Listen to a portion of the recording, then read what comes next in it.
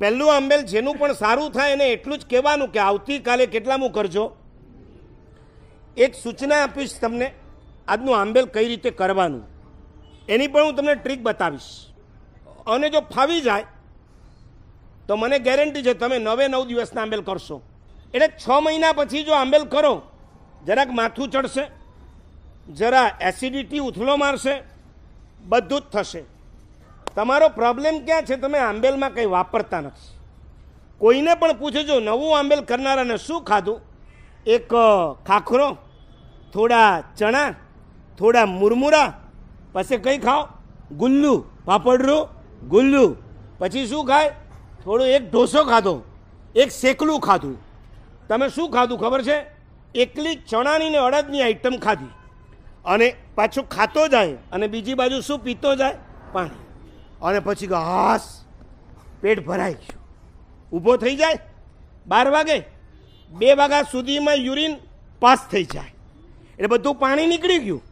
હવે હવા નીકળી ગયા પછી ફૂકો શું થઈ જાય? એટલે પાછું અઢી ત્રણ વાગ્યામાં તો ભૂખ લાગે. અને ભૂખ લાગી હોય એ જ વખતે રસોડામાં ચાય બની હોય. હા? અને પોતે સુવાનો ટ્રાય કરતો હોય ને, ત્યાં ચાયની સ્મેલ આવે. હા, આજ તો બહુ કડક મીઠી ચા બનાવી છે. અરે રોજ આવી જ બનતી હતી. આજે તને જરા સારી લાગવાની. એટલે એમ થાય, નહીં નહીં નહીં, હવે આપણાથી આંબેલ નહીં થાય. આપણે તો કાલ સવાર ક્યારે પડે અને ક્યારે આપણે બેસી જઈએ વાપરવા માટે, આ ગરબડના કારણે તમે ખાઈ શકતા નથી, એટલે પૂરું આંબેલ બરાબર કરી શકતા નથી. આજે જેને પણ આંબેલ કરવું છે, એને એક સરસ ટિપ્સ આપું છું. આ એવી ટિપ્સ છે મારી નથી. અહીં બેઠેલા દાદા ગુરુદેવ ભુવન ભાનુસુરી મહારાજની જ વર્ધમાન તપની જે મહાપુરુષે એકસો ને આઠ હોળી કરી હતી. છેક બિહાર, કલકત્તા, કાનપુર, અજમેરના વિહારોની અંદર કે જ્યાં રસ્તામાં ક્યાંય આયંબિલ ખાતા નહોતા, કોઈ કાકા મામી કે માસીના ઘર નહોતા, એવા વખતે પણ આ મહાપુરુષે નિર્દોષ આયંબિલ કર્યા. ક્યાંક રોટલી મળી અને ક્યાંક ગરમ પાણી મળ્યું. એની અંદર જે બે દ્રવ્યનો ઉપયોગ કર્યો અને એના દ્વારા ને- નેવું એકાણું, બાણું, નવ્વાણું મી અને સોમી ઓળી કરી હતી. એ મહાપુરુષે બનાવેલી આ ટિપ્સ આપું છું. આ રેસીપી આપું છું. પણ આ રેસીપીનો ઉપયોગ મહેરબાની કરીને આંબેલમાં જ કરજો.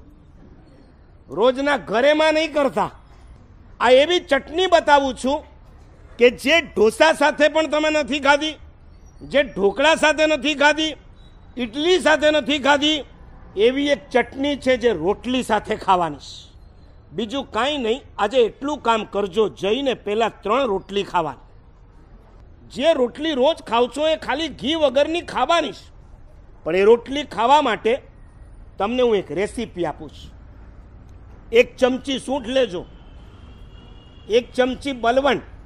બલવણ એટલે નમક, પાકું મીઠું. એની અંદર ચાર ડ્રોપ્સ મગના પાણીના નાખજો.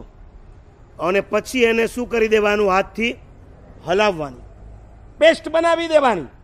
અને એની સાથે તમે રોટલી ખાઓ આહા, અબારથી ટેસ્ટ આવે રહ્યો હોય અટે હોબડીને એરો ટેસ્ટ આવે, વટે ખાતા ખાતા તો કઈ કાઢા હું તીન રોટી કહું, એ છ રોટી ખાઈને આવે. હું ગેરંટી સાથે કહું છું. પેલા ઢોસા, ઢોકળા, શેકલા, આ બધા ચટર પટરમાં પડતા નહીં. જો દિલથી તમારે એની ઓળી કરવી હોય, આજ સુધી ટ્રાય કર્યો ને નથી થઈ ને આ વખતે જો કરવી હોય અમારો પ્રયોગ અપનાવજો. સૌથી પહેલાં ત્રણ રોટલી, સાથે મગનું પાણી અને મેં બતાવેલી ચટણી, એની સાથે જો ખાશો, બસ ત્રણ રોટલી ખાય.